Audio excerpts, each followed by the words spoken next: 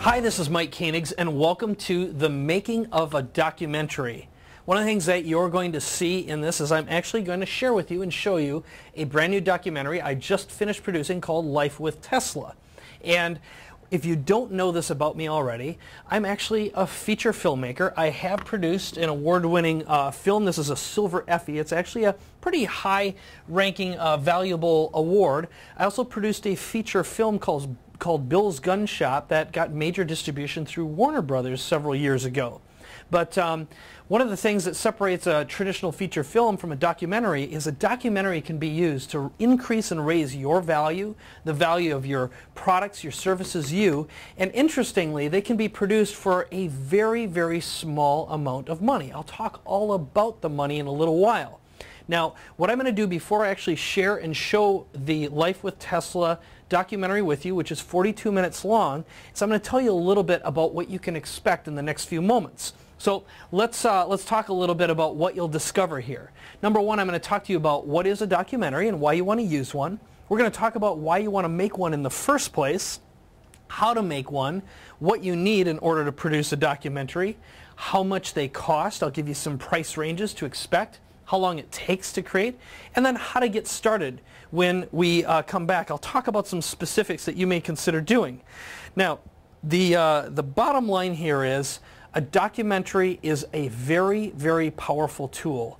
And when I come back after sharing the, doc the documentary that I produced with you, um, I'll go through every element of these step by step. Hopefully it'll answer all of your questions and also give you an opportunity to maybe continue this conversation later on as well.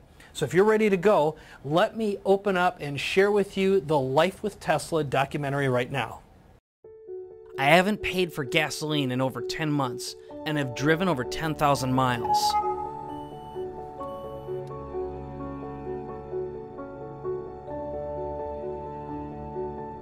For every vehicle we sell, it's an additional car that we're getting off the road, which is producing uh, CO2.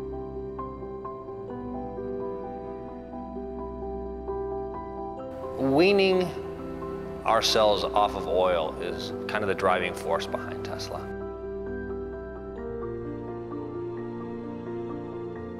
It is a high-end sports car. It's a high-end sports car that people like to drive fast.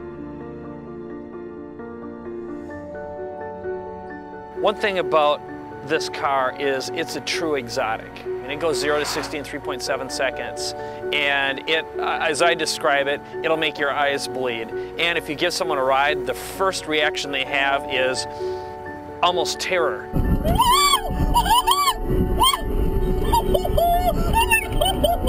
They can't believe how fast and quiet it is and how smooth it is because there's no shifting, there's basically no noise.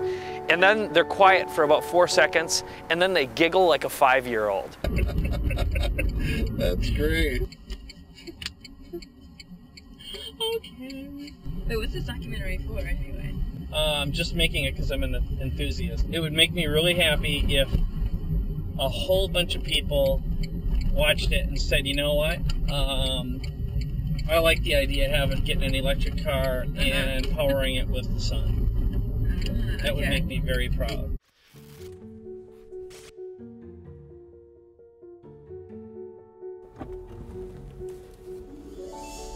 My name is Mike Koenigs. I am a Tesla owner. I have car number 984. It's this very beautiful yellow uh, Roadster Sport version 2.5. I was one of the first off the assembly line right before the IPO. I actually waited, I think, 20 years for my electric car. Now, I only waited eight weeks for the Tesla after I ordered it, and I did get it custom. It turned out I got it right before they went public. So um, it, it has exceeded my expectations. It's an exceptional car. It's easy to drive. I love the fact that I can plug it in every night when I get home. And it's just a joy to drive. It's as close to a legal go-kart as you can have. The price tags on these cars start at about $110,000. They go up all the way to about 160 fully decked out. You get a federal tax credit. Now it varies in price, but it's a substantial immediate rebate that you get. After getting the car, I found out about something super cool. It's these. It's the white all access sticker. Okay, what's that mean?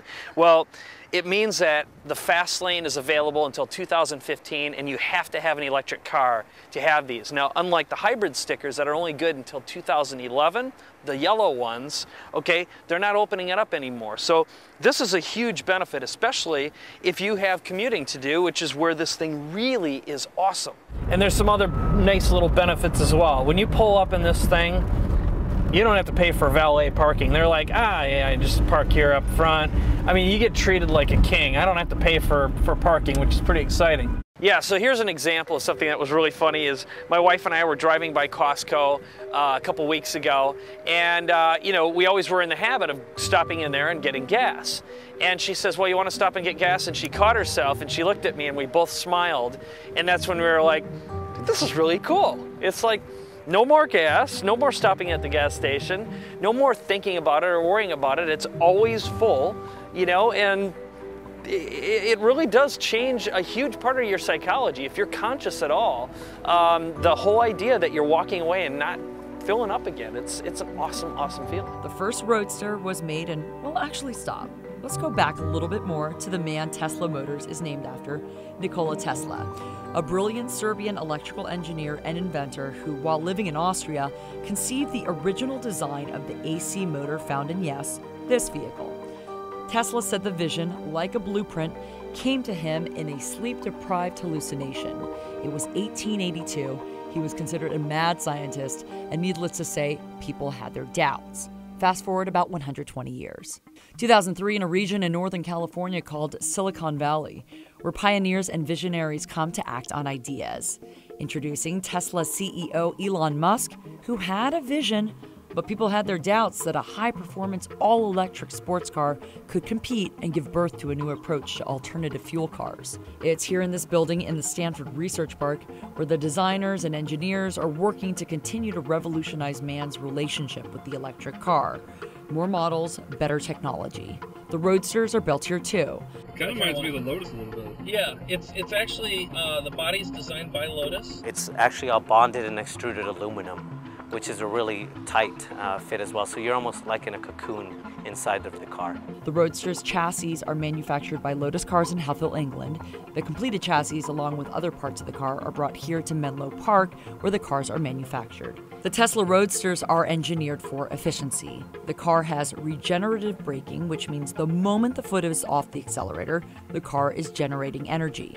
The driving efficiency of the Roadster is 88%, almost three times more efficient than an internal combustion engine powered vehicle. The 2.5 is an all electric high performance sports car that goes from 0 to 60 in 3.7 seconds. 0 to 60 in less than 4 seconds? Yeah, 3.7. 0 to 60 in 3.7 seconds. 0 to 60 in 3.7 seconds. There are approximately 1,500 Tesla Roadsters on the streets in 31 countries around the world. Until very recently, it was the only electric car in production that could be driven on the highway. The Tesla Roadster gets an estimated 244 miles per charge. I saw it set the record though for like, was it 311 miles per charge or something? Yeah, there's someone who actually got even further than that. Really? But they were, um, what's it called when you drive behind like a big truck? Oh, like a drafting? Yeah, they were drafting. It gets all of its power from a lithium ion battery pack, which Tesla Motors refers to as the ESS, or the Energy Storage System. The pack is made up of ion cells like the ones found in cell phones or laptops. In the Tesla Roadster, there are 6,831 of them. And I think the most important factor is um, the revolution we've seen in technology and in portable technology. So the fact that we now carry in our pockets and in our briefcases the equivalent of what was a few decades ago supercomputer, um, and those are all powered by lithium ion cells. Um, and those are now being produced in the, you know, in the millions, if not billions. And what we did is we, our engineers found a way to take those readily available lithium ion cells and produce uh, the Roadster with them, produce an electric car that was uh, pretty much unrivaled that, that could compete with the best cars in the world. Um, you take that technology, that battery technology, that battery chemistry, um, and you combine it with the Tesla technology, which is the way we bring them together in our packs, keep them stable, um, and, and convert their use for an EV. and you have what we have today. No more oil changes, no more smog checkups. All of that's been eliminated. And the maintenance on the car is actually once a year, 12,000 miles. Anytime there's ever been any kind of a little repair or anything that pops up, um, they show up at my doorstep. Um, they bring up their trailer, they make whatever changes are necessary. Other than uh, a pair of tires that I've had to pay for, I haven't had to put a nickel in this thing. There's no oil, there's nothing to top off, to fill up. I mean, it just drives and drives and drives. And right now I've got 9,283 miles on this thing so far. The battery pack is liquid cooled, so it always stays at room temperature. The Roadster has very little wear and tear because there are very few moving parts. One battery pack, one motor, and one gear. This creates 295 pounds of instantaneous torque. The acceleration on the car is like nothing you've ever experienced, really. It has nothing to do with normal internal combustion engine acceleration. It's more akin to, if you think about when you flip the switch, the light switch in your room, the light doesn't rev up and then come on, it just comes on immediately. That's exactly how the acceleration in our car works. I mean, you flip the switch and it goes, and you're going 60 miles an hour almost in the blink of an eye. The best way to kind of visualize what it's what that's like is literally being on a roller coaster. So you've probably been to the roller coasters at Six Flags. When you get off of there, your stomach will go up, and it's the same type of experience on this car as well. It's phenomenal. You know, I love roller coasters, and I feel like driving the Tesla Roadster is like having your own roller coaster. I mean, any road, any hill, an acceleration burst up there is like being on your own roller coaster. Like, yeah, you seriously feel like on a roller coaster. it is. Well, it's about the same acceleration. Yeah. It's like a roller coaster. It is a roller coaster. Roller coasters? Like, I'm, I'm a, a roller coaster junkie. This is amazing.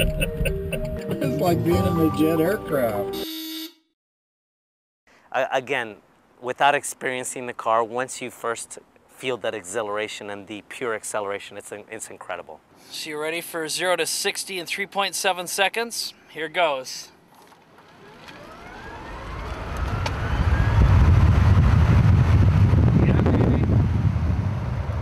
Oh my gosh. I think it's. I'm trying not to. I used both feet to try to brake. Did you? Just, just like the Flintstones?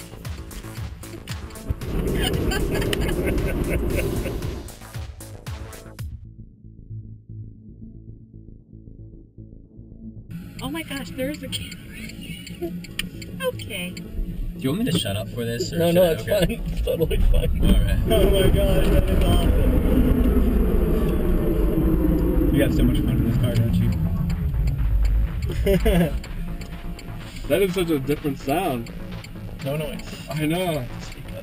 You're just hearing the tires, really. Yep. the new guy got out and he was like, it was so weird when we accelerated because you just kind of hear the tires and you hear this little whine and that's it. Yeah. There's no noise. In fact, it kind of freaks out the bicyclists and pedestrians when you pull up and they hear nothing and oh, it's just this yellow thing coming right straight for you. And whenever I have a hot date, you'll let me borrow this next time? Oh yeah.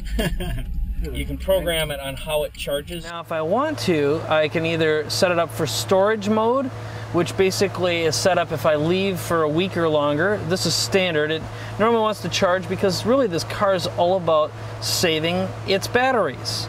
Now, if I go into range mode, basically it's going to ask me if I want to use this. All it means is that it's going to charge the batteries so they last the longest and can go the furthest distance. Performance is the exact opposite. So in other words, it's all about how can it go the fastest so it'll actually deplete the batteries really, really quickly. Uh, as far as charging, you really have three charging options. You can charge from a standard 110 outlet, which you see here. You can also do a 220 outlet or a 240, which is a standard washer dryer. And then you also have a 440, which is a high powered wall connector. So it's really based on your driving and your needs. How long does it take to charge? Yeah, you know, typically what I'd be looking at is. Uh, let's see, we're gonna get some people out of So what was that last question? Man, I don't even know. it wipes away memories and questions too.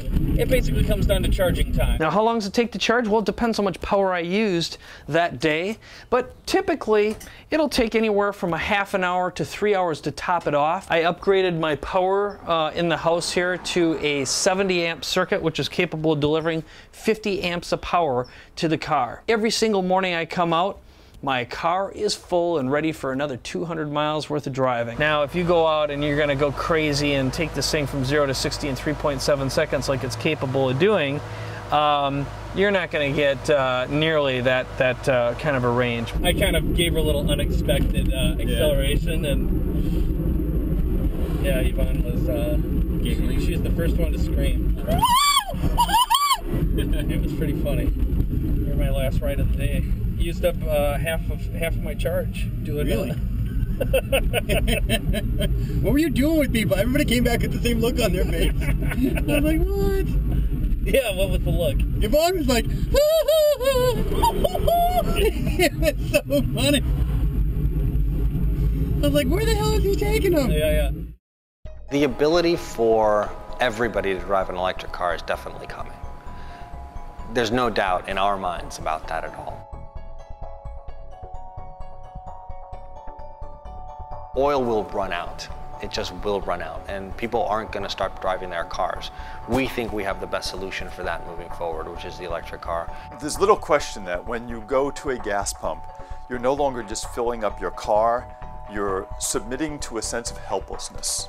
For years, I've been going to the gas station. I put in the handle, and I hate myself. You know, it was like I hated the idea that I'm putting you know, something that I know is bad for the environment into my car. The companies who sell it, in my opinion, are a little nefarious. You know, you've got, uh, um, you know, you don't know where your money's going, and I don't like the idea of that. Look, anyone can make this movement, and if you think forward a little bit, a, if you make the movement towards energy independence, where you're also doing solar panels, I'm basically revealing every step how much it costs, what kind of decisions you have to make, uh, who you want to look for, what kind of relationships you can build, how easy it is, and you can literally just flip a switch and in a matter of a few weeks, you can not only be energy independent and powering your home and powering your car and driving something that isn't attached and hitched to some sort of big business and big oil. You know, have an open source attitude about this. And I think that again is, you know, from a very progressive point of view where the world needs to move towards. Is let's be free, let's be independent, and um, let's be innovators. Let's change the way we think and change the way we live. Electric power is everywhere present in unlimited quantities. It can drive the world's machinery without the need of coal, oil, gas, or any other fuel. I don't want to buy gasoline. That's really what this game's all about. So the sentiment, I think, has always been there. The sentiment, um, people wanted us to succeed or wanted us to be right. The doubts were huge. We have started to chip, uh, chip little bits and pieces of doubt off of that kind of off of, off of that collective doubt, and and now more and more people have seen that it's not only possible, it's a reality. And they're coming on board and they're doing it. And now we've seen advances that we never thought possible with it, um, such as people living completely off the grid. Another way we're different from traditional car companies is our objective is not only to sell as many cars as possible. Our objective is really to change people's attitudes and change people's minds about the viability of electric cars. We've been swimming in this pool for a few years now. And we've been screaming, the water's fine, come on in, jump in.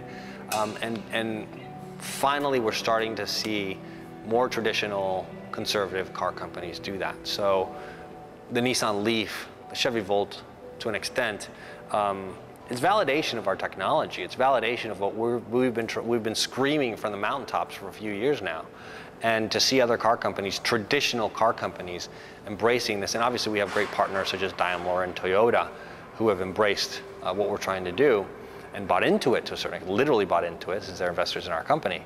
Um, it's very gratifying, it's very validating to see them coming around and saying, hold on, maybe this is a viable solution. I don't have a political feeling about this, but what I do have is I'm always for the entrepreneur and the innovator. I think that the way out of our current economic situation, our political situation, our world situation with terrorism is energy independence. I think that's an obvious, apparent thing. According to the CIA in 2009, the United States consumed 18,690,000 barrels of oil a day. That means in one year, Americans consumed 682,150,000 barrels of oil. And that's just in the US. And when you're talking about politics, whether it's the left or the right, both agree that we need to get off of fossil fuels. Both, need, both agree, both sides of the aisle agree that we need to get off of our dependency on oil. Um, they may agree for different reasons, but that's okay. There is really, in this day and age, no reason we should be so dependent on fossil fuels from, you know, historically um, war-torn regions of the world, um, and, and not coincidentally, regions that aren't exactly friendly to Western democracies and the ideals of Western democracies.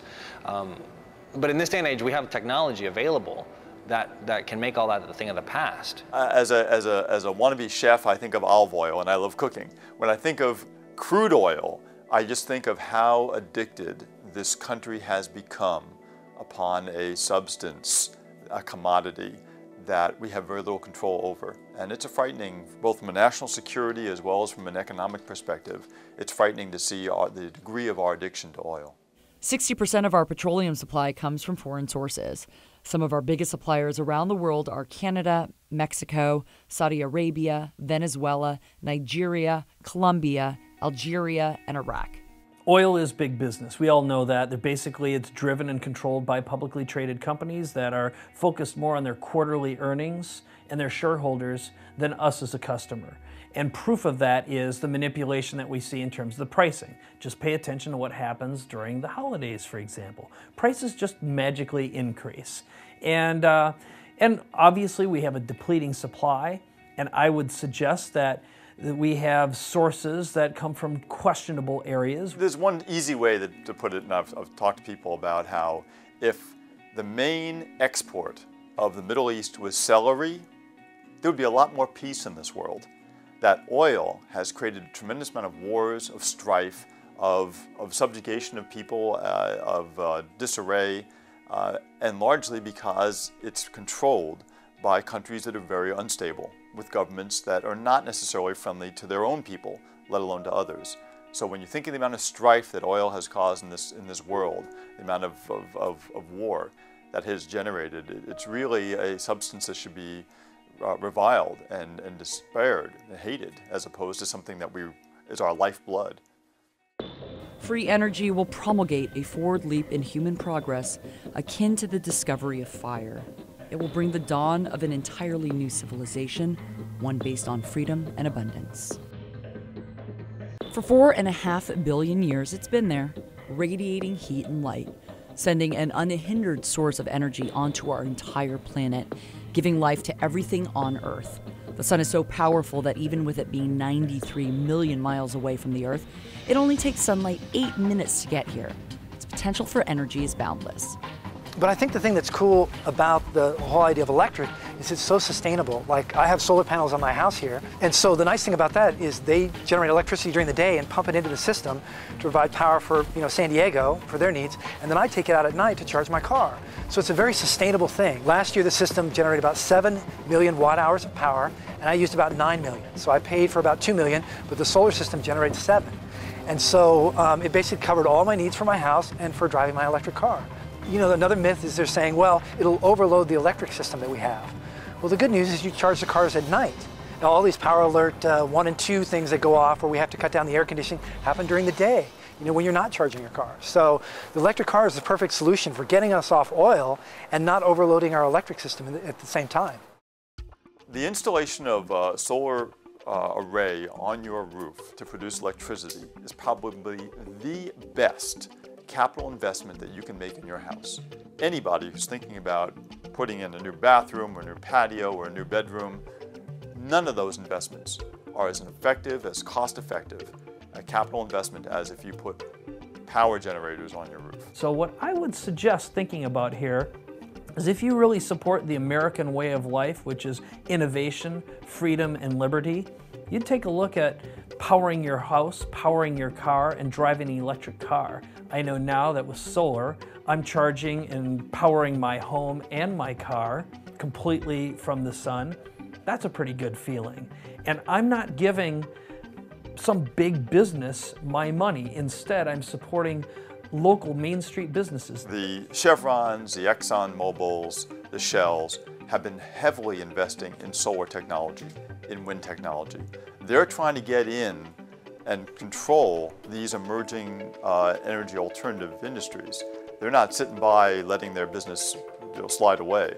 So in many ways, the reason why it's taken so long for us to get real energy reform is because the oil companies are trying to become entrenched in and control alternative energy businesses.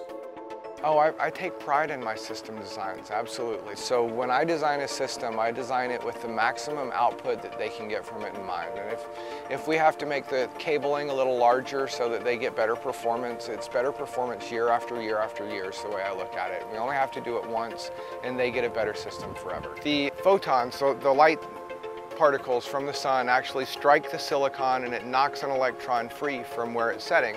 And then the electron, along with a bunch of other ones, flows through the wire around and back into the module. The electrons flow down in the form of DC current, just like a battery, to the inverter. And then the inverter uses uh, a circuit board to change the electricity from direct current into alternating current like you use in your general home applications. So it works basically like a battery, but it, it gets its power from the light particles striking the silicon cells. And the more directly you point those cells at the sun, the more photons strike it. So if you look at, it, if my hand were the sun and it's shining on a, an ingot, if it tilts away from it, now you've got a much smaller area that's actually getting illuminated versus facing it directly. But it just so happened that the way my roof is pointed, um, we actually capture, you know, a full southwest sun with no, I mean, it's, it, we just happen to be in an optimal area. And that's, of course, one of the nice things about being in San Diego is we have the sun and, um, you know, we'll be producing at 80% most of the, of the year and, and, and upwards during the summer months. It takes very minor shading to affect an array.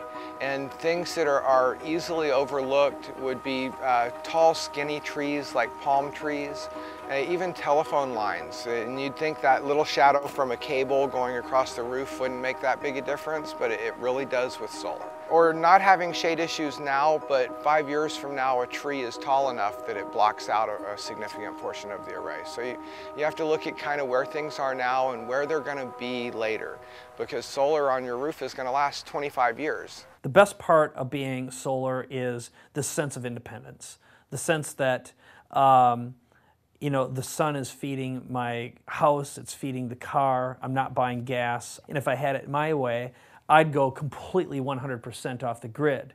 The reality is right now, doing a battery system for a house just isn't practical. It's not, not financially feasible. It just doesn't make good financial sense. From the inverter, when, once we've converted it into alternating current, we send it to the meter and it spins the meter backwards as it goes back out to the power lines, to the transformer, and then whoever around you, uh, your neighbors that need electricity, it goes into their house. You're increasing the value of your neighborhood. You know, you're going to make your home in a resale situation more attractive to a buyer. Later on, when the sun sets, you'll, you'll draw the electricity from the grid that you were feeding, and it spins your meter forwards. And ideally, by the end of the, the day, you're back where you started and it doesn't cost you anything. Imagine having no bill. Okay, the minimum bill I know in San Diego is $4.93. I don't know why, but if you're producing more power than they're using, you're actually pushing it back into the system and back into the grid. Technically, we're going to start getting rebate checks if our usage is lower than our consumption. The choice I made was to overproduce a little bit so we're feeding back on the grid and get as close to a zero electric bill as humanly possible. My out-of-pocket cost was probably um, yeah, somewhere around like 20, 20 some thousand dollars, but I get 30% of that off on my income tax. So basically my net cost for the whole system is around $18,000. All right, now here's where it gets interesting. If you figure out my normal gas bill for just driving around a car, especially now here in California, as of this time, the gas prices are almost five bucks a gallon. It's insane. I figure I'm saving about 3,600, between 3,200 and 3,600 dollars per year on gasoline. Our electric bill, if you include the car and everything else, was over 300 dollars.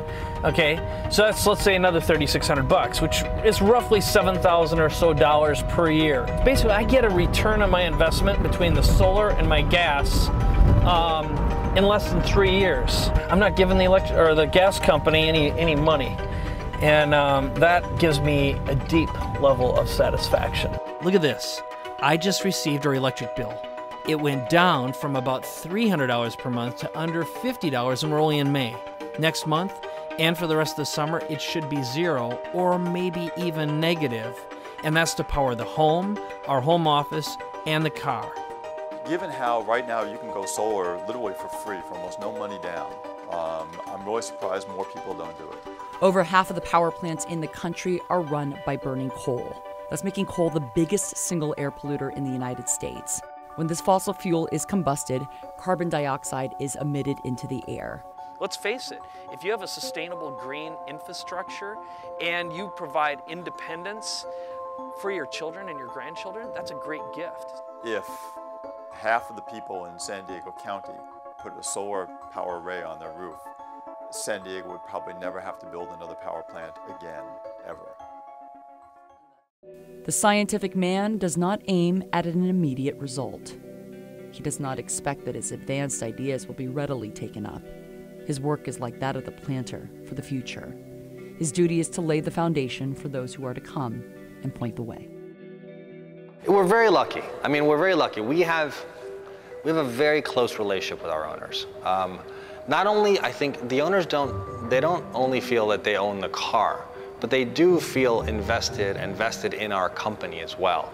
Um, they know that when they buy a Roadster, they're not just buying a car and walking away. The first time I met a bunch of other Tesla owners in one place, I noticed there were a lot like me.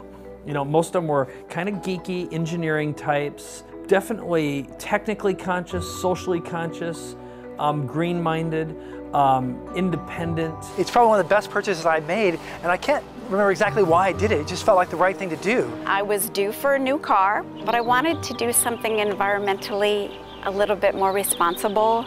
I saw the car. It was the first zero emission car that would be road ready. I spoke to my husband about it, and within 24 hours, I had signed up online. I know that it costs us almost nothing to charge it. I mean, it's, I think Marietta's round trip of 20 some miles a day costs like 20 cents. Is that gratifying? Yeah, it, it certainly is. I mean, what was gratifying to me is when she came to me and gave me her gas card, said, Here, you'll never need this again. When we bought this car, we were remodeling a home, and the home was going to be solar. Um, in the middle of that, my husband found this condo downtown, and so we decided to make the move. But then we ran into other um, challenges as far as putting in an electric charger in a condominium association. So we worked a lot here with SDG&E. Eventually, the electricians who knew the car had worked with putting in the home chargers. They came, they spent almost two to three days here, but they had to inventory every electrical outlet in our condominium. And what they did was they took the electricity off of our unit specifically, not the condominium association, and everything worked beautifully. So I, I, think that's it's kind of unfortunate that there's this myth of range anxiety that people say, well, you know, electric cars won't take off until there's charging infrastructure all over the place. Well, I think most of that comes from the fact that the original cars, the hybrids, had such a limited range. I mean, they were 50 miles, and if you have a 50 mile range, you're really nervous about going more than 45 because what if it's wrong? You know, because I mean, battery cars, when electricity quits, it quits. To date, I've only run out of out of electricity once. So um, I had a meeting in Orange County, and it was in North Orange County. My business partner and I take off, and it is raining cats and dogs. I'm telling you, it is crazy outside. And uh, I didn't do the extended charge, so I just did the standard charge in the car. Remember getting in the vehicle, and it was like 86 miles um, from where we started and then coming back. And when you get in the, the Tesla, it gives you the range. The, and basically, I had about 168, 170 mile range. So I looked at it and I thought, oh man, I'm going to be within eight or 10 miles. So we drive up there, and like I said, it is pouring. And I'm watching the meter deplete as we're driving up, and I realized we're just past the halfway mark when we got up there. And it was because of the, I think, the enormous amount of rain resistance probably on the, on the vehicle. So we're coming home, and uh, the meter's going down, down, down, and finally it basically says unknown range left. We've got about 14 miles left until we get home, and I am just driving like this and I'm, you know, I'm definitely tense and Rocket, my business partner, sitting next to me and, and he's like, hey, whatever happens, happens. And so here we are. The Tesla's on the side of the road. Fortunately, Tesla has this great little concierge service. They're sending a driver to come pick up the car, drop it off at my house. I had my little charger cable, but there wasn't an easy place to plug it in. Here's the charging cable if I get in a pinch. If I could just get an extra 10 miles out of this, we'll be fine. Here's the charging cable if I get in a pinch. So the lesson learned is if you're within 20 miles, don't do it. If I get in a pinch. And the other little mistake I made today, and I realized it as I was pulling away, I didn't top off the batteries. Here's the charging cable if I get in a pinch. Which is another little thing to give you that extra 20 mile boost or so, which would have alleviated this little problem. So I think that's the, the infrastructure will come very, very quickly. Uh, it is the wave of the future. I mean, it, there are always naysayers when anything happens. I mean, when any there's a change, it's oh this won't work or that won't work. You can always find a reason not to believe that something can work, but it's easier to find a reason how to make it work. And you know, with the car that Tesla's built, like the Tesla Roadster, you know, gets 245 miles on a charge. Um, and the Model S is, is upwards of 300. So there's lots of you know range you've got with that. And remember that when you leave your house or you leave your work, if you have charging at your work like I do, um, your car is fully charged. And so how likely is it for you to drive 200 miles from your house you know, now, yeah, when you go on a long trip, that's true. But for every day, no, probably not. Life with Tesla represents the fact that this is a no compromise movement. And over the next, say, 24 months, another wave of electric cars are going to be coming out that are more affordable. And also, Tesla's own sedans are going to be coming out as well, which are amazing. I mean, beautifully designed. They're no compromise. We're a for profit company that doesn't make a profit because everything we make, we invest back into research and development for building the next generation car, for building the next Model S, and then the car after that, which will be even less expensive. And so our, our early customers, the people who own Roadsters right now, are the ones who are making the future generation of electric vehicles possible. The objective was never to build necessarily, the objective was never to stop at a $110,000 sports car. The objective was to use a very high-end sports car, take everything we learned from that sports car, and introduce increasingly affordable uh, models. So the Model S is the next step in that approach. The Model S is a sedan, it's four doors, it fits five adults plus two kids, and it will be built from the ground up as an electric vehicle. Uh, as such, it's going to have a bunch of advantages that are going to make the combustion cars that we drive today kind of look like horse and buggy cars. Well, if you think about the construction of the Model S, uh, the battery pack lies along the floorboard of the car. So gone are traditional engines, gas tanks, mufflers, all that's eliminated from the car. And all you have is a very, very basic and simple battery pack, motor, gearbox, and that's about it. And so everything else, everything that's above that is just kind of opportunity for passengers, opportunity for storage, and convenience, really. Uh, also, by having the, the battery pack along the floorboard, the center of gravity of the car comes down, so the drivability, the handling, the maneuverability uh, is much better than what you would have in a comparable sedan. What we're going for with the Model S is to still have a sports-oriented premium sedan um, that will get uh, hopefully the best kind of 0 to 60 times uh, in, in its class. So we're looking uh, 0 to 60 in under 6 seconds. The Model S will be on the same platform as an Audi 6 Series, uh, uh, or A6, I'm sorry, a, a BMW 5 Series, the, the, the, the Jaguars. That's what we're going for. That's the market we're going for, and we're going to show that an electric car can not only compete on that level, but be actually be a superior car at, on a premium type of level. With the with the Roadster, the battery pack takes up most of the trunk. I mean, there's room probably for a set of golf clubs and things like that. But this will be a real car.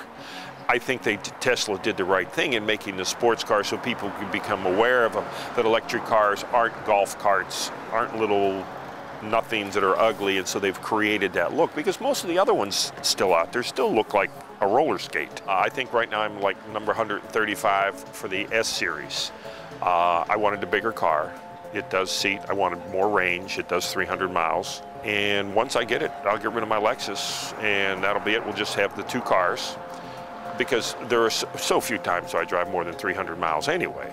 I'm running off the sun. This is, you know, free to drive. And yeah, it's an expensive car, and yeah, it's part of being a leader and stepping up and, and you know, trying to change the way things are done and looking at things not from a status quo point of view. Well, I do think of this car as, as kind of this century's Model T. It's a, it's a really revolutionary car that's showing new possibilities for people that, that, that most people didn't think were possible. You know, if you think about what this represents and means on a big scale, I mean, if we could cut ourselves off from oil and coal, for example, look, that's pretty exciting. Um, it's a great feeling to know that you're part of a movement and part of a, a, change of thought, you know, and, and, and switching around and maybe accelerating the status quo. Because I think that once we hit the tipping point, you're going to see rapid adoption, rapid movement, which is going to mean the prices are going to lower. And um, everyone benefits from that. You know, the critics would say, but this is about what can we do right now? How can we change the way things are happening? And do you sacrifice anything by going all electric and by going all solar? I say no. I think this is really the future, and I'm proud to have done what I've, what I've done, and I'm happy to give this documentary away and show folks what life with Tesla is all about, and also what life without the oil companies is all about too. So thanks for watching, and I'll see you on the road, all right? Bye-bye.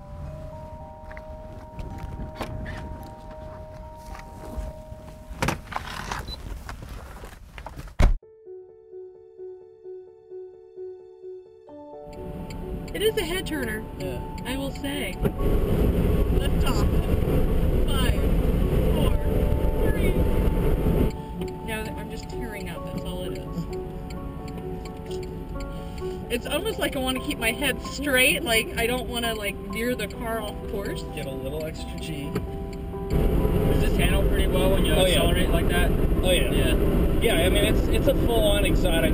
Yeah. And um the brakes are exceptional. If I would have had to in that particular situation, we would have been just fine. Yeah. Uh, but yeah, it's um, I wouldn't do anything to risk um, any lives. I mean, this thing is unimaginable in terms of its overall handling. I, I, I, the only thing that I noticed, like someone who's used to say a mid-engine gasoline-powered car, it's uh, um, it the batteries are right behind us so it does have a different um, center of gravity. Yeah. But it's not. It just you just get used to it. Right. The whole documentary should just be reaction shots. Definitely. Uh, you accelerating. Yeah. Like, ah! the G-force action. that's that's your daily commute. Pretty much. Well, I, I generally don't do that.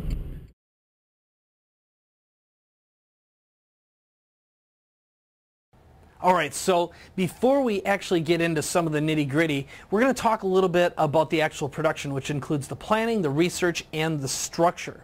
So the first question you're going to need to ask yourself is, why am I doing this in the first place, all right? The other thing is, there's a fair amount of research that goes into producing a documentary. After all, someone is going to take you down to the mat at some point. They're going to question your credibility, so you need to think about that ahead of time. And also, there is a definite structure to how you create a story. And that's what's important about a documentary is it needs to go somewhere. There needs to be a reason why. You need to have a target audience that you're speaking to and communicating with, etc., etc. And again, I will contextualize this and use the Life with Tesla documentary as an example. Now, before we get into the what and the why and the how, I want to tell you a few of my personal goals that I had in producing the Life with Tesla documentary in the first place. So one of them is the actual car is fairly expensive. You know, the one that I ended up getting is about $160,000. My goal was to figure out a way maybe I could get that nice car for free. Also, I wanted to figure out some way that I could actually get my solar panel installation done for free as well.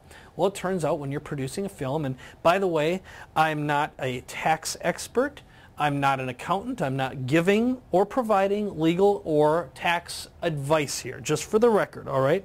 But I will tell you that when you're producing a project like this, you have props and you have expenses. So when you check with your accountant, it is absolutely possible that maybe all of the things that you use in producing your productions could be free. Are we clear? All right. Well, the next reason that I made the Life with Tesla documentary is I wanted to increase my, the value of my personal brand. Now, I do have several businesses, several companies. One of them is Traffic Geyser. The other, one is Monster Follow-Up.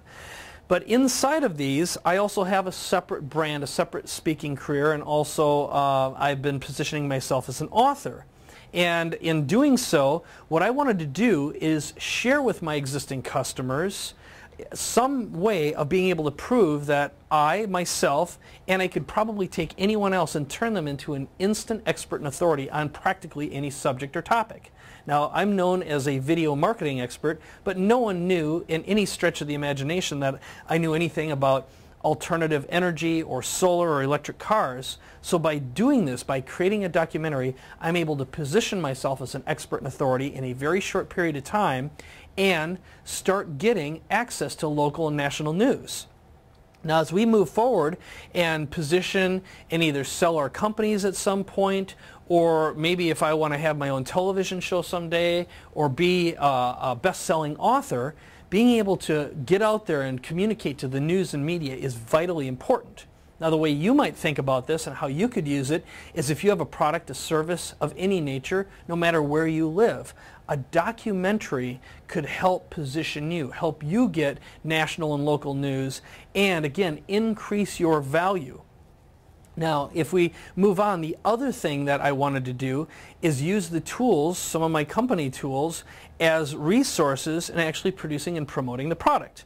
So if you don't know this already, I am the co-founder of a company called Traffic Geyser. It's a tool that distributes videos all over the internet.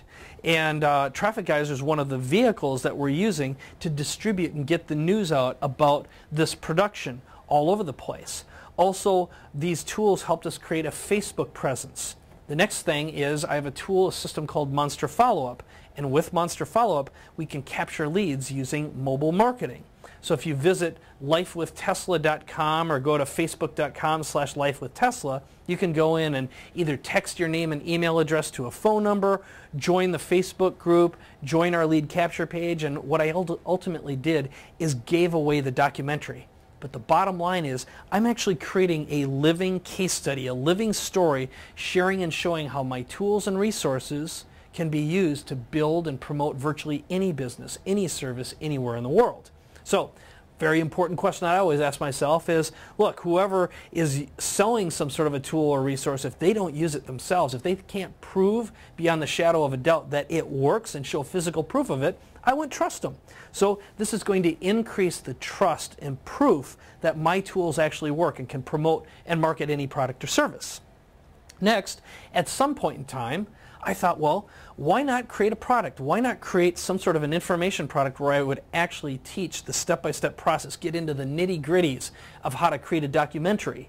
Now, this video that you're watching right now will break it down and go through the steps, and there are a lot of people who will be able to just take this knowledge and know-how and just go out and do it themselves. I'm going to provide enough information to do that.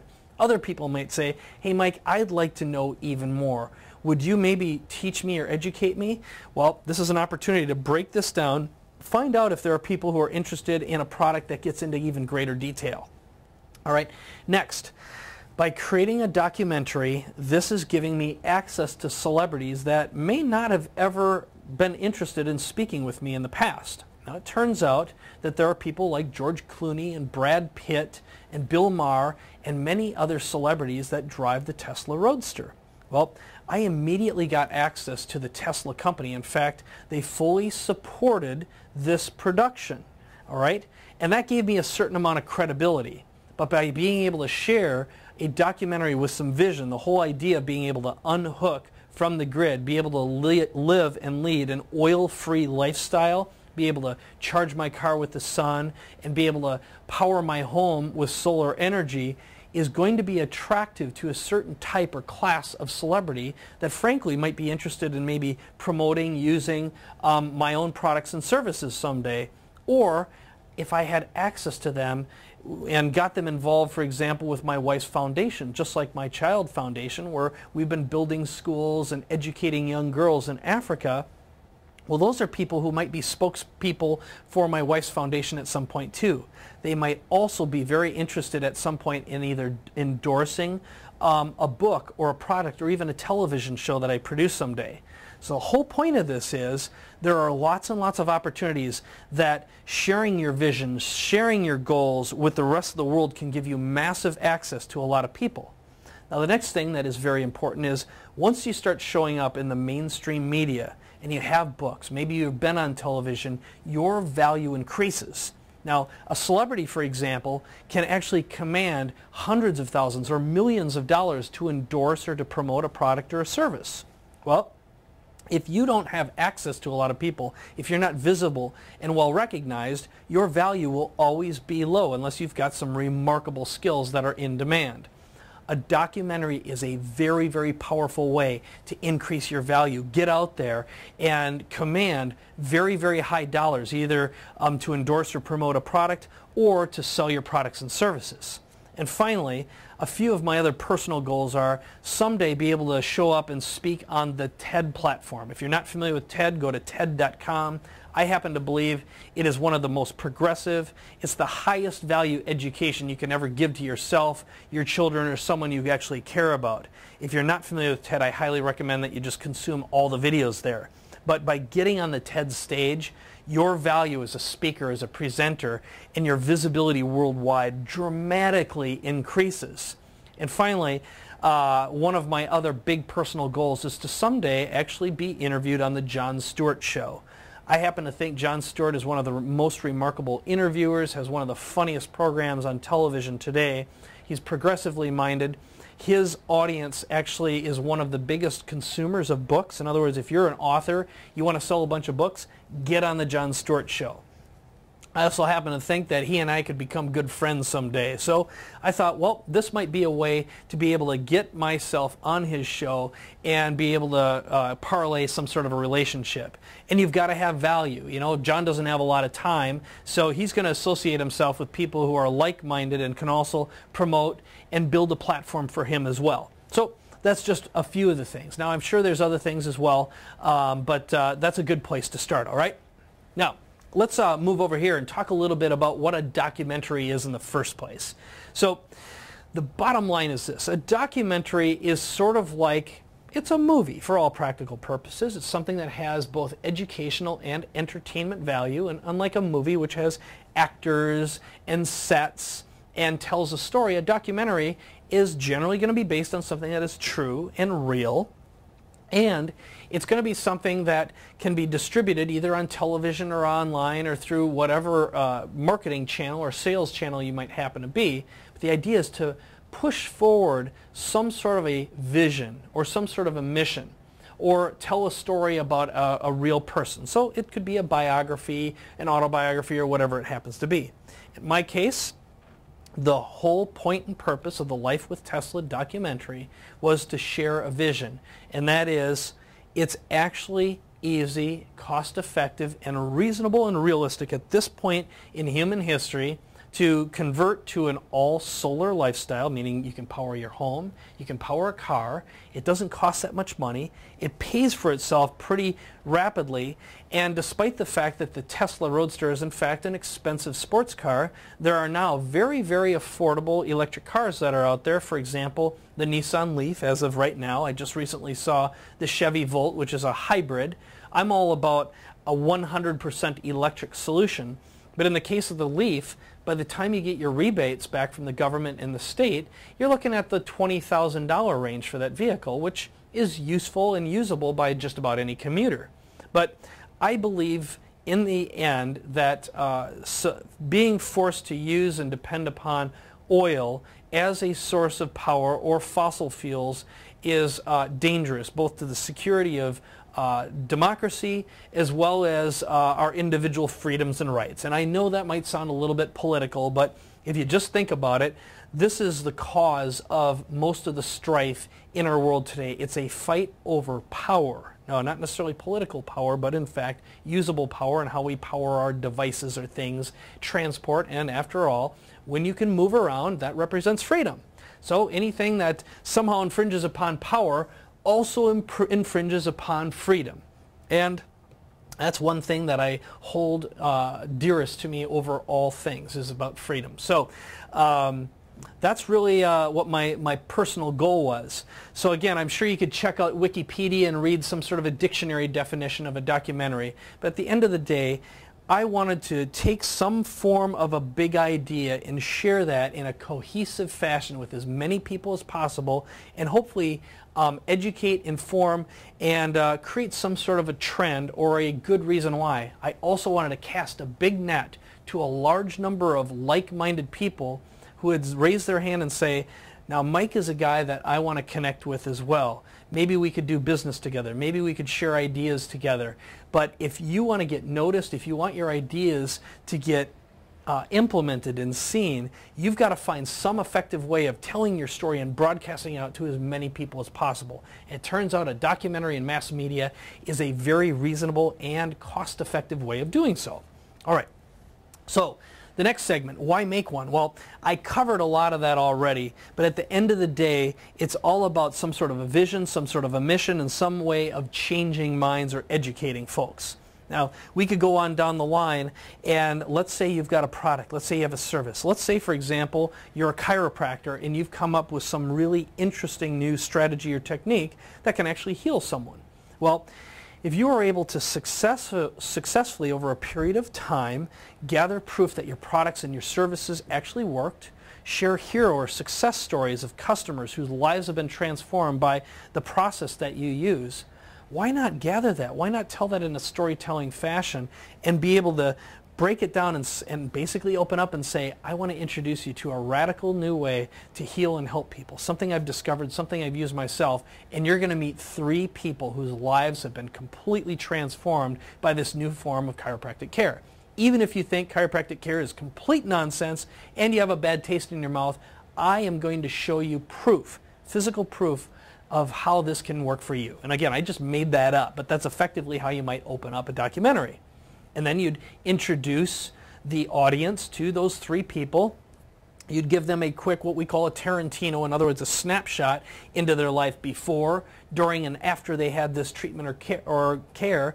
And then you'd show exactly how it worked. You'd show proof that it in fact works and exactly what happens.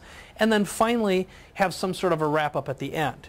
Now, the bottom line here is when you look at documentaries, the best way to learn how to make a documentary is to watch lots of them. But the whole point and purpose, again, is to somehow create some sort of a vision, some sort of a mission, share that with as many people as possible, and start creating some change in some fashion or another. If you look at some big documentaries in the past that have been made, love them or hate them, um, I know there were um, there have been some big health uh, documentaries like Food Inc., for example, that really showed um, some of the ways that commercial farming um, can really have a negative impact on small business and entrepreneurs and traditional farmers and also all of the uh, chemicals that get used. Okay, that's a pretty good story. I suspect that in the near future, there's going to be some big documentaries being made about the oil sands um, and what's going on up in Canada, for example, something very controversial. There's certainly been documentaries made about tons of people, tons of things, but the whole idea is to raise and increase awareness. All right. So a few things about how to make one. now, I'm going to get into some of the nitty gritty and the people, but the bottom line is this. When you want to make a documentary, you're going to have some sort of a vision or a mission. Now, it could be something all about you if you have something that's important to share, but if I were an author, for example, I would certainly consider creating a documentary to promote or market my book. If I had a brand new product or service or a business, I would definitely make a documentary about how that product and service or that business is transforming lives and actually helping people. But it all begins with story. The best way to create story and create an emotional connection is it needs to be about people. People, people, people. So what is happening right now that is changing or effective, affecting lives in a positive way. Now in the context of Tesla, or the Life with Tesla documentary, it all began with this.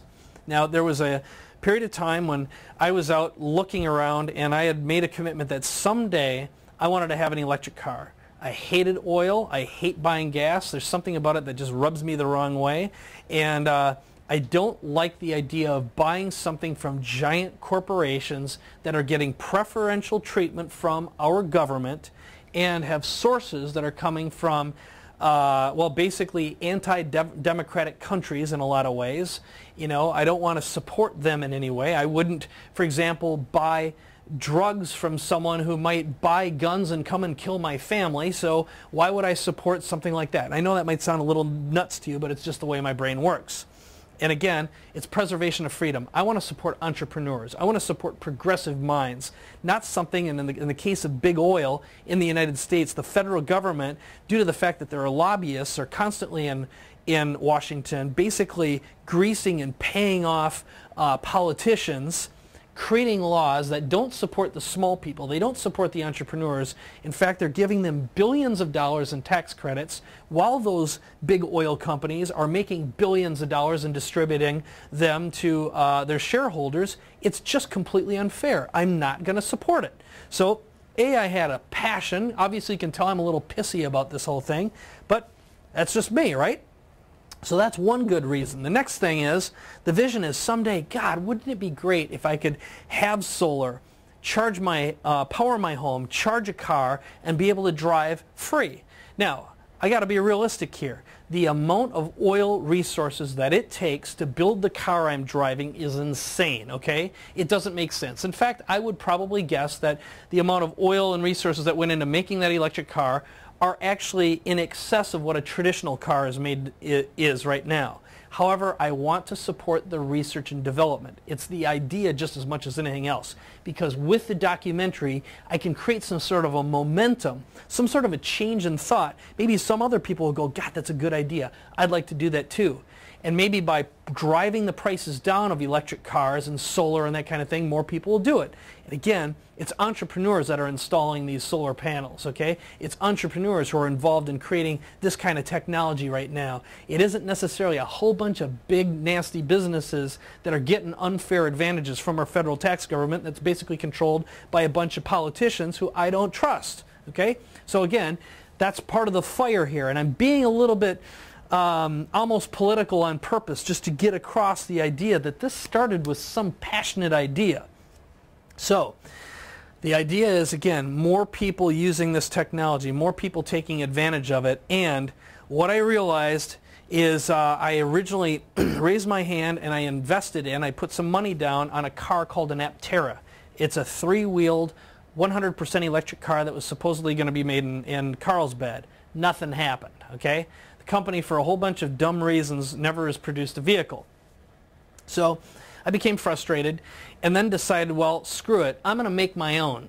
so I started doing a ton of research. I did lots of research. I started meeting with and talking to mechanics and engineers, and I seriously considered hiring an engineer and a mechanic and financing and buying the parts I needed and actually building a car that would be 100% electric.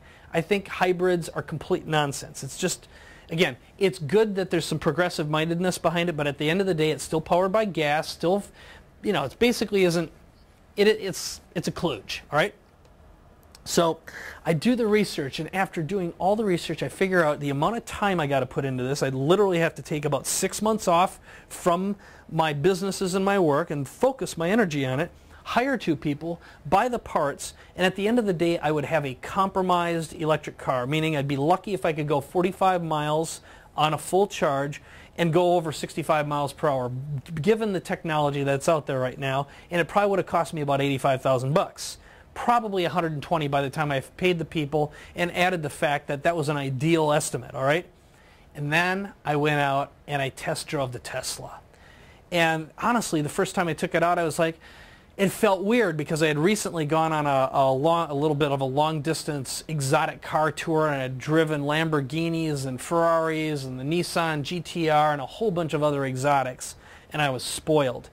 And the Tesla at first felt a little weird to me just because of the way the weight distribution's set up and a couple other things as well. And I was like, I don't know if this is worth the money and blah, blah, blah.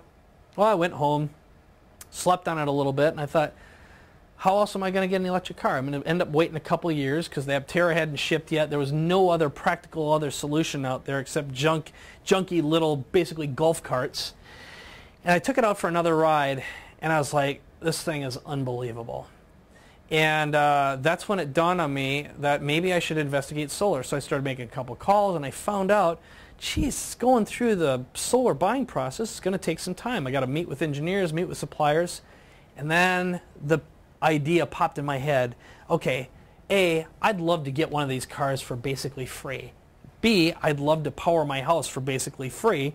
If I created a story, oh, and I'd like to educate and maybe document everything I'm doing, everything I'm learning, and be able to share that information or maybe write a book about it. I thought, why not make a documentary? I know plenty about film. I could use this as a way to prove that my technologies and tools work and all the other reasons that I shared with you earlier. And It'd be fun. And I got some really, really talented, smart people who work in my studio already who I know would love to make a documentary. And one thing, uh, another really important reason why you make documentaries is you can get awards. Now, we've already submitted the documentary to receive some awards, potentially get an Emmy as well as maybe another Effie, for example, which usually goes to the advertising world. That's another story altogether. But there's also film festivals all over the world. I mean, if we just submit to a couple hundred of them, there's a high probability we're going to win some awards. Okay, again, awards increase your value. It also increases the value of everyone on my team. They'll be excited about it. It'll create a mission, a combined mission that we can all look forward to doing. And uh, also, if they're going out and they want to pursue their careers later on, they can go out and say, I happen to be an award-winning filmmaker or cameraman or editor or whatever it is. Everyone wins, okay? So, bottom line is this. How to make one just begins with some passion and having a big why and a big reason. I just gave you a whole bunch of my reasons why, and I hope that you'd connect and relate to it. And then it just came down to what's the story. Now the story in this case is guy wants to unhook from oil, wants to get as close to off the grid, remain free, support entrepreneurship, and uh, drive a no compromise electric car. And share a vision and a mission with lots of people and show exactly what the process was in getting there. I thought, well, I just started bringing around a camera with me, documenting what went on, and one thing led to another. So I'll get to the people part in a little while and breaking this down, but um, and that's really in the who you need. So the uh, who you need, I got to see if I have the uh, the I had a list here of of everyone, and it's not in front of me right now, so I'm going to just uh, wing it. But here's typically what you need. An executive producer in a project is someone who essentially finances a project or finds the money. Okay, I'll talk more about the money in a little while. Next you have a producer. A producer is someone who has the vision, the concept, and puts the team together. I was basically acting not only as an executive producer, along with my two partners, um, but also as a producer in this case. It's my idea. I put together the team. The other person that I got was uh, another producer, and her name is Jenny Hamill. Now, it turns out that uh, Jenny is uh, a newscaster. She works for a local Fox affiliate. And um, I knew her due to some other work that she had been doing. And in this particular case, I'll tell you, this is what's great. Someone in the news business, A, in their, if they're an anchor in their news, interestingly, people on TV don't make a lot of money in general, and uh, they're usually working on little bit stories. And in order to increase their value, they need awards, they need visibility. So a documentary is a great way. So I was able to talk to Jenny, and uh, in the past I've worked with other people who come from television, and when they connect with a project, they love to get involved, especially if you can pay them something. So I quickly made a deal with Jenny and I said, would you write and would you produce this project with me? Great. We took care of that. All right. So uh, the next is I needed um, someone to direct and edit this. Guy named Brandon Perna, who um, had worked uh, here at uh, at our studios before, um, was interested in this, and we started this project while he was still here. He ended up moving on to Los Angeles to pursue a, a, a neat opportunity to produce, produce some shows, but he continued to work on this. Um, he did some of the shooting, but he also directed and edited this production. So what's a director do? What's an editor do? A director is someone who makes sure that they're going to show up, work with the talent, work with the camera people, make sure everything's coordinated on a tactical day-to-day level, and make sure you've got a cohesive story that can be told. Now an editor is another incredibly, incredibly valuable uh, person here. In this case, case, Brandon did both. And um, what uh, an editor does is basically takes all the segments of video and helps tell the story. Now, if truth be told, um, I had an idea for Life with Tesla. The fact of the matter is, we just shot a whole bunch of stuff, and we eventually kind of came up with a story concept, and it was really Brandon who orchestrated this thing together because um, the you know again this is not nothing I'm proud of but the reality is I've been running a couple businesses we've been growing at an accelerated pace and I just haven't had the time to focus on all the minutiae and the details Brandon just raised his hand and monitored and managed this process throughout now um, Jenny also did the research and uh, a bunch of the narration on the project as well. So having someone who does voiceover and be, is able to tell the story, but also someone who goes out and does the research. She, in fact, ended up uh, managing the relationships over at Tesla. We ended up getting Tesla engineers and, and we had to get the publicity and legal department involved because we're using their brand and talking about them and ultimately they had to approve the project as well and they ended up being a sponsor as well. So that was another really, really important aspect of this. Next, I add Melissa, who's been responsible for putting together the graphics, the logos, building the website, building out the Facebook page and that kind of thing. Somehow we had to market and promote this thing. And she also put together the keynote presentation that I'm sharing with you right now. Um, now here's what I'm going to just stop for a second and say, you don't have to have all these people. And building and creating your first documentary can frankly be done it could be just you, even if you have no prior experience, as long as you have a story to tell. And the technology that you need is actually very, very cheap as well as the software tool. I'll talk more about that in a bit. All right. Now, um, we also got um, some what's known as B-roll. There's some footage that Tesla gave to us to use. So some of the footage that you saw of the cars driving through the valley, we didn't have to shoot all that stuff.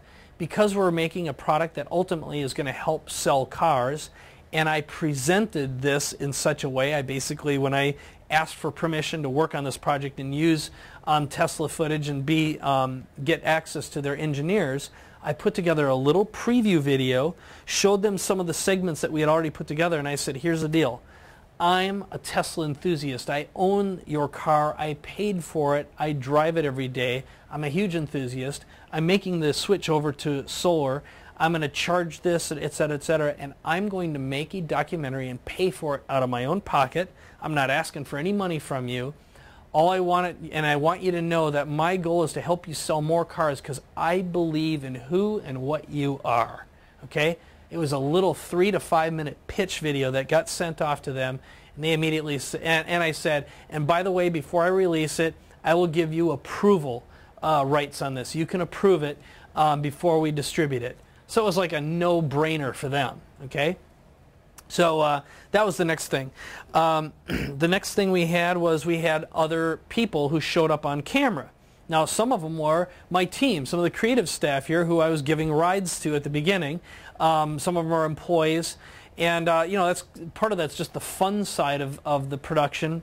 But we also got real Tesla owners. That was pretty easy. By coordinating with Tesla, we were able to get real people who had these vehicles and these cars they're big.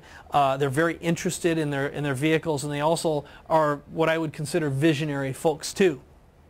Um, then we had the photography, the video. Now, my internal team, for the most part, shot a tremendous amount of this content. So we have got Nick and Matt, um, Blake, uh, Brandon, Matt, uh, I already said Matt, uh, Sean.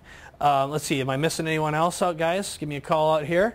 Shake your head. No? Okay. Got everyone? And um, oh yeah, Christopher Jewett.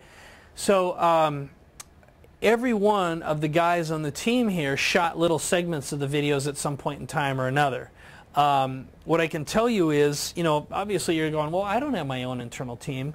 Tell you what, the best resource for finding great talent, especially production talent, is Craigslist if you are in the United States. if you're in Southern California, there are Hollywood talented folks out there constantly looking for work. They're constantly looking for an opportunity to work on a project that could potentially get them an award or escalate their value as well. And you're only as good as your last production. All right. Now, you know, you get people all the time. It's like, yeah, I worked on, I don't know, Patch Adams, made 20 years ago. It's like, who cares? All right. You know, those kinds of things were nice then, but if you're out in Hollywood, you better have a pretty consistent path of productions that you've been involved in. And uh, you need to be escalating all the time in terms of what your position is in making a film or your value is going to be fairly limited. So the bottom line here is um, finding high quality talent that is willing to work on a project, even on a fixed price uh, basis, is very reasonable and realistic. Okay. Um, next, we had music. Now, there's a gentleman named Oscar Flores who uh, put together the music. He's a friend of Brandon's in our case. Again, um, you can find uh, uh, great talent in places like Fiverr.com, Craigslist, or if you ever find some music that you like online that you listen to, just find out who wrote and composed it. Go to their website, go to Facebook, track them down and say, hey, would you like to make some music for my production? And uh, it's possible to get a full soundtrack done for anywhere from 500 to $5,000, depending on what their experience is. Now, I don't have the permission to uh, say specifically what I paid for the soundtrack for this from Oscar. I will just say it was very, very reasonable, and I think he did an exceptional job because he literally scored the music to the production he um, watched the, the production and actually put together and composed the music while watching it so it actually has a nice rhythm and a nice feel. So um, very, very talented. Um, and then the other thing that we had in this production was uh, our graphics. So we've got Glennon Wright, Matt Egenhausen, and Brandon Perna, who all did the animations that you saw on, on screen there. Again, finding motion graphics talent, people who make graphics, you can use uh, Fiverr.com, 99 Designs, CrowdSpring. These are crowdsourcing resources. But really all you need to do is have some sort of an idea of what you want. My recommendation is watch a bunch of documentaries and find segments that you like, and you can find these on YouTube or go to Netflix and watch them there, and specify what you like and supply either clips of those videos to the designers um, or tell them to watch those things to get a feel of what you like. You don't have to be particularly imaginative or creative. And frankly, you don't have to have graphics. Yeah, I mean, you could literally just sit down with a piece of paper and draw on it or take a whiteboard and, and use a dry erase marker and put a camera on top of that and it'll be fine, okay? Whatever you need to push the story forward is what's important. So the technical stuff isn't that important.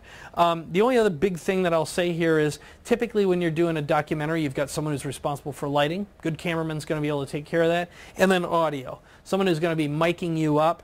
And then again, the, the whole world of production can get sophisticated and complicated if you allow it to do so.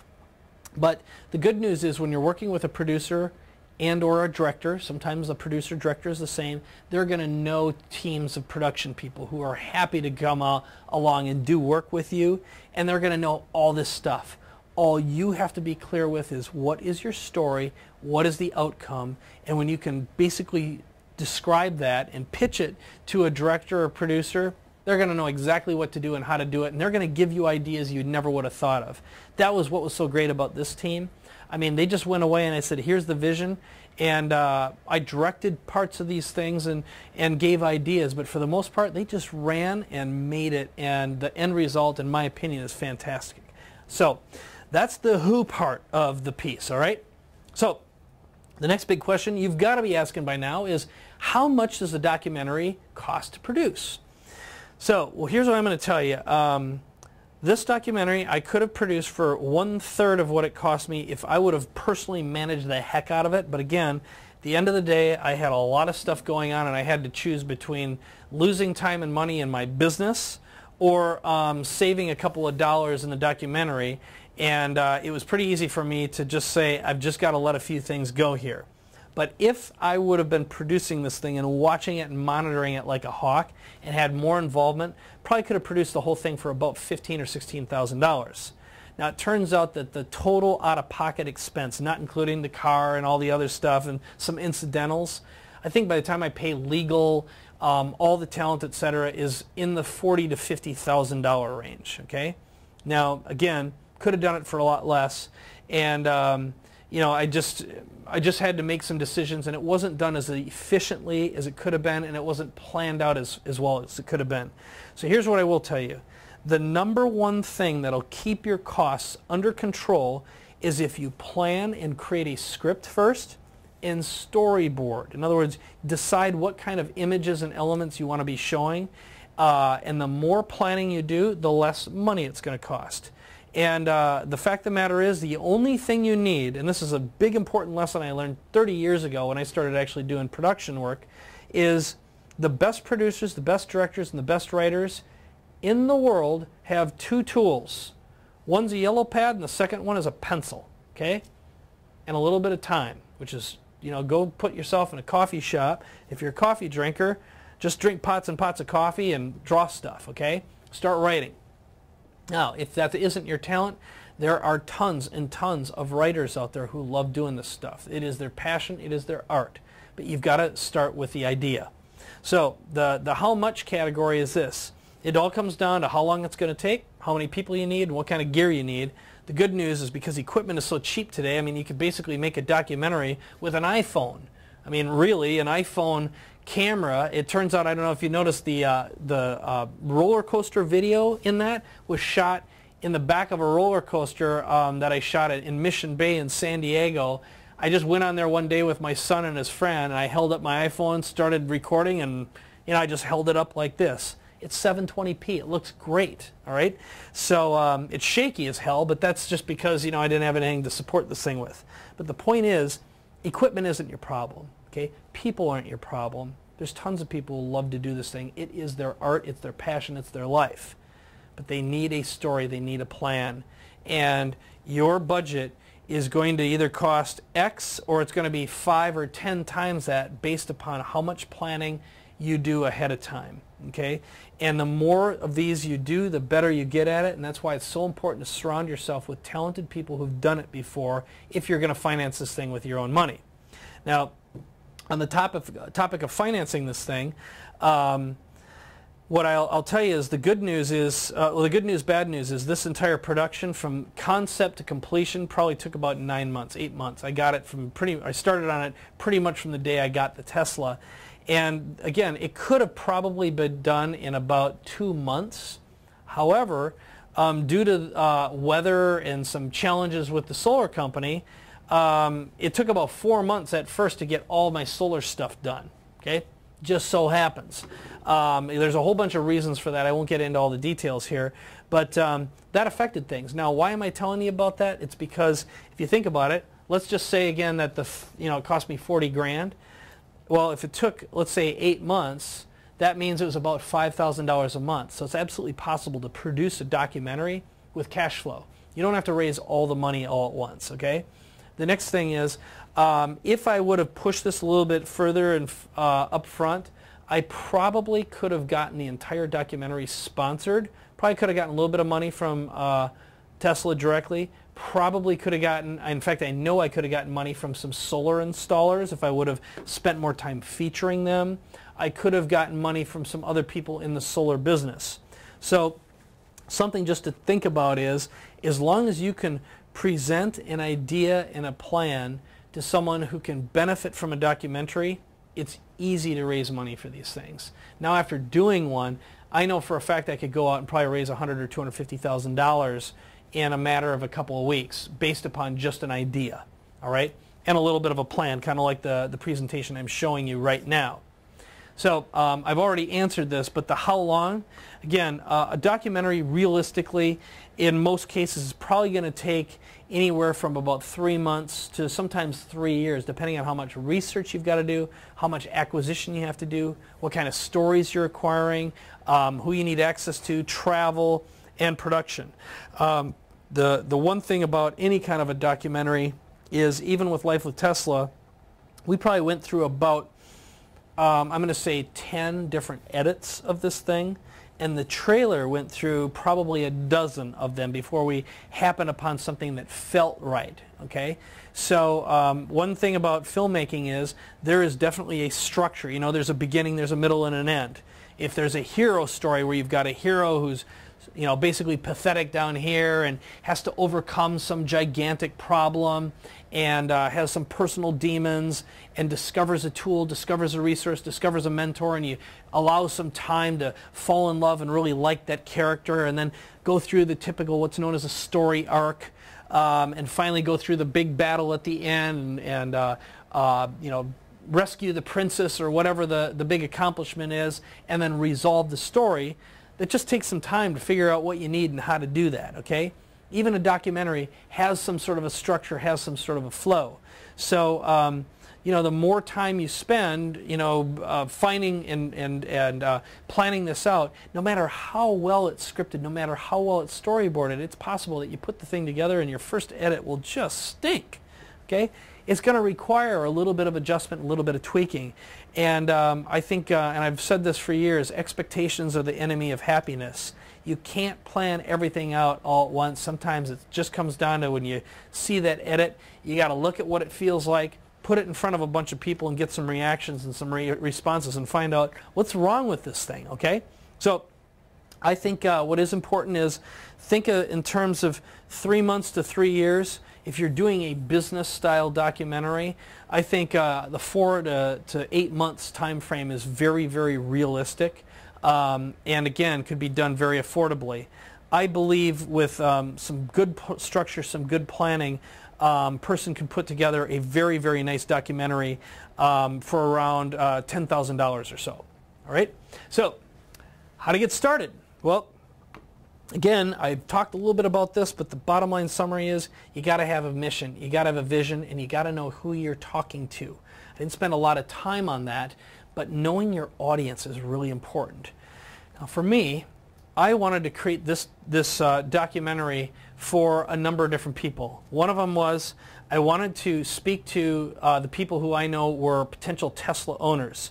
I've found Tesla owners in general to be progressively minded, highly technical. Almost all of them are entrepreneurs. Turns out a large number that I've met are all successful business owners who've sold their businesses. Basically, most of them are um, fairly well off. In fact, many of them are multi, multi-millionaires. Some of them own very, very large corporations. Um, and, uh, and I thought, well, this is another thing someday if I choose to sell my businesses, these are the kind of people who have access to big capital and big investment firms as well. So I thought, well, I'm going to communicate to those kind of folks. Also, I wanted to find progressively minded, green-minded technology people. Now, I'm not talking about, um, you know, weird hippie types. You know, obviously this is communicating and speaking to people who can afford um, this kind of a lifestyle. So it's definitely a higher end um, person, and they're definitely idealists. Um, another thing that I, I, definitely did is I created this documentary with my own customer base in mind. I've found over time that the people who buy uh, Traffic Geyser and Monster Follow-Up and our other products and services are um, progressively minded, fiercely independent, freedom driven. They want to benefit from all the things that having their own business can give them. Um, many of them are what I would consider libertarian-minded. Okay, so I'm dancing on the political spectrum here briefly, but they're people who value being left alone by their government and don't particularly trust politicians. Okay, and uh, would rather solve the problem themselves. They're implementers. They're self-starters. They're independent-minded folks. Okay, and um, I also know that a lot of them can identify and associate with this idea of, man, I'd love to do my own documentary as well. So it was around those kinds of things. So again, just knowing who your audience is, what you're saying, and what you're speaking to them, and also the outcome, which I covered earlier. It's like, I wanted access. Okay? So if you know what your outcome is, you know who you're uh, communicating to and who you're producing for, and uh, what you want this to do, the rest is pretty easy. It's really just a matter of what do they need to hear? What objections might they have that would uh, that you need to overcome to tell your story and get them to raise their hands and say, this is just like me. Now, interestingly, a good documentary is very, very similar to a great marketing video, okay? Now, um, if you're a scientist, you might uh, you know want to present both sides of the story. Now, I could have gone in there. I didn't want to. Didn't matter to me, frankly. I don't care about the other side of the story. But I know I could bring in people and say, ah, solar is a big ball of hooey, and electric cars are junk, and it doesn't doesn't make sense, and they can only go 200 miles on a charge, and it takes too long to. You know, it's like I don't want to try to convert people who don't want to be converted. As I often say, the last thing you want to do is be a Christian trying to convert a Muslim into a Christian or take a Christian and turn them into a Muslim. It ain't going to happen. You'll probably get shot. It's a bad idea. So you want to be focused on communicating your message and your mission to people who are already there or on their way to get there. All right. So uh, a couple things here, getting back to the resources, and I've covered them already. So we've got the writer, the producer, the director, uh, the cameraman, uh, we've got editor, we've got lighting, we've got audio producer, music talent, a location scout. That's someone who goes out and looks for wherever you're going to be shooting. Having a studio, having an executive producer. In other words, the money people, and then the tools. So what I want to do is just tell you a little bit about the tools very briefly because I didn't spend any time on that yet about the equipment, okay? Now the good news is the equipment you need these days, it's cheap, it's easy to get, and you can find people already have it and you don't have to buy any of the stuff. Now we did produce this production with some really nice equipment.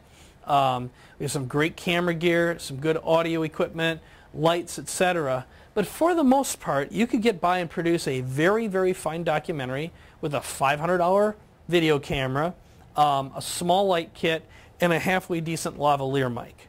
All right. Now, in this particular case, like the production I'm making right now, we're in a quarter million dollar studio here. It's all high definition. It's multiple cameras, so I can go between this camera. I can go between this camera. We've got big screens behind us and all this stuff. You don't need all this stuff, all right? And again, much of this can be rented.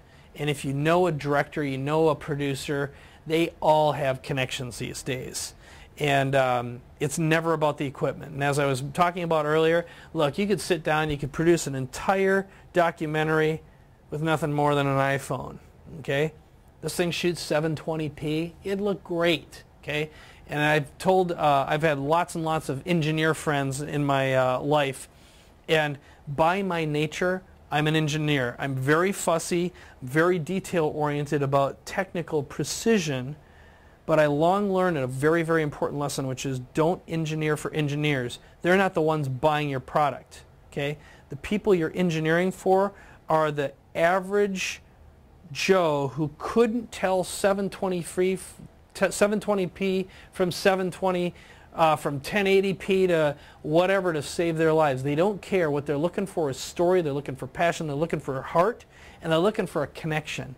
And that's the whole point and purpose of putting this whole thing together. You are telling a story with a purpose in mind. You got to have that why, and your passion is going to come across more than anything else, as well as your vision and your mission. And that again is the biggest goal that you have whenever you're creating a documentary. So, here's what I'm going to um, do: is I'm going to cut now to the uh, actual trailer to the Life with Tesla. And uh, before I do that, and then when I come back, I'm going to give you an opportunity here to, uh, if you want some next steps, I'm going to tell you what those next steps are. So I'm going to cut right now to a slide that shows a phone number, and that phone number is 858-333-8534. And when we're done with this production, we will come back and display that after I uh, come back from the uh, trailer. But here's the basic summary and what I want to close at right now, if we can have the camera back on me, please. And that is this. I am considering creating a full course on how to create a documentary. And it would include more of the step-by-step, an opportunity to meet and, and uh, you'll have interviews with people involved in this and really get into more of the how-to side, including some of the production side as well. And uh, if you're interested in uh, going through that and learning more, I encourage you to text your name and email address to that phone number and you'll get some information at the time I decide to do it. Might be a week, a month, a year from now. I'm not sure right now, but it's your opportunity to raise your hand and say, yeah, this sounds cool. I'd like to know more and maybe uh, I'd like to learn a little bit more from Mike and his team. So um, I do, once again, want to leave you with this. The opportunity right now in this world at this time to create a story with a vision and a mission that only a documentary can deliver is greater than ever before. The equipment available to produce these things, like I said, for you know, you can do it from your phone. You could actually make a documentary is here right now.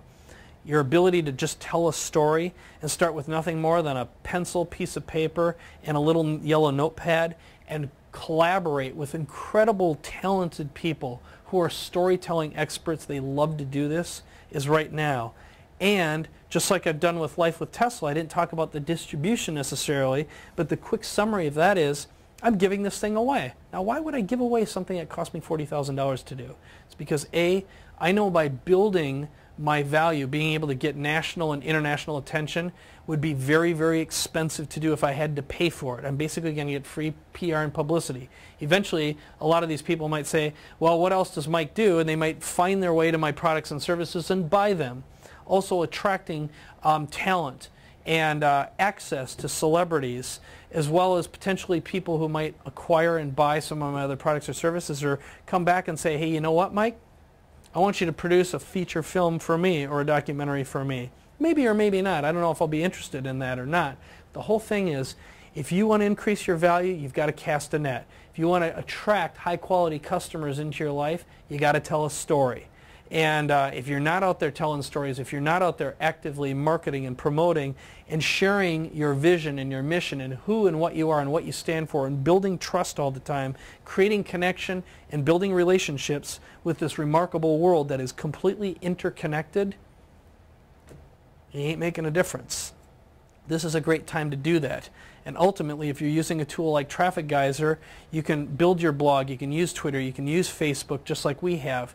We're actually distributing the Life with Tesla documentary on iTunes. We're going to be selling it on the iTunes store. We're putting it in Amazon, and ultimately we're going to try to get it on Netflix as well. Now, yes, I'll sell it on there, but that's just because I want to distribute it through as many channels as humanly possible. And there again is the big opportunity here. The world is completely connected. You've got access to sell and produce and promote your vision, your message on something as simple as a mobile phone like this one. Why not take advantage of that? And you can do it very, very easily, and there are wonderful people there to support and help you. So what I'll do right now is cut to the trailer, and when I come back, you'll see the still slide where you can text your name and email address to 858 333 8534 if you want to know more. And uh, if you're outside of the United States, just put a, a plus one in front of that um, for the international code. So my name is Mike Koenigs. Thank you so much for watching this, and let's cut to the trailer. Well, the first thing you always get is the Tesla grin.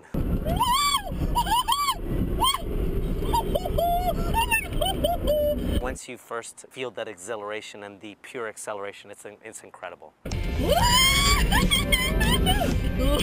oh my God.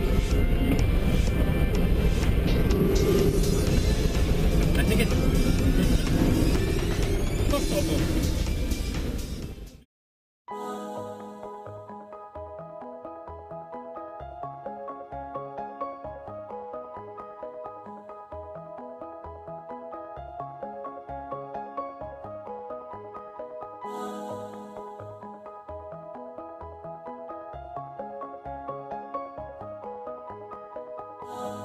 little question that when you go to a gas pump, you're no longer just filling up your car, you're submitting to a sense of helplessness. And I know how I feel every time I have to put gas in my tank.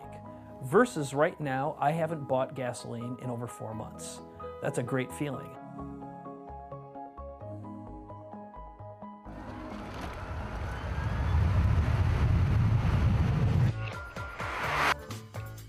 If you really support the American way of life, which is innovation, freedom, and liberty, you'd take a look at driving an electric car.